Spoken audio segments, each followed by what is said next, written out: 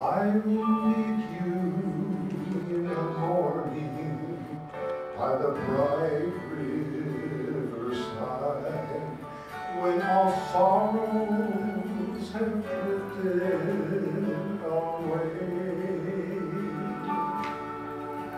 I'll be standing at the portals when the gates open wide